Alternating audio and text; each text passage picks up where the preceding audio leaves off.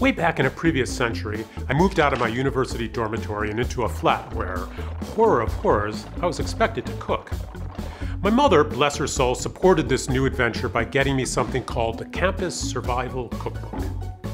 This little masterpiece introduced me to advanced culinary techniques such as washing hands before cooking, closing the oven door during cooking, and cleaning up after cooking. As you can see, I survived the ordeal although only until now when the question shifts to how many of us can survive the bewildering barrage of numerical claims and counterclaims that assault us on a daily basis in the modern world. In fact, some of these numbers are worse than just confusing. Often, they're willfully diabolical, specifically created to lead us astray.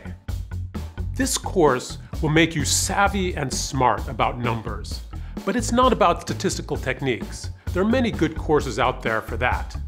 This course is about not getting fooled by numbers. We'll look at common tricks for either exaggerating or downplaying the sizes of numbers. We'll cover the perils and pitfalls, as well as the positive potential for public opinion surveys and election prediction. And we'll examine the special issues that arise when we confront rare events. For example, when we try to predict terrorist attacks or to react to a positive HIV test.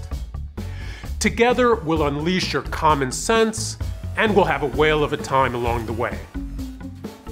Join me for Survival Statistics Secrets for Demystifying Numbers.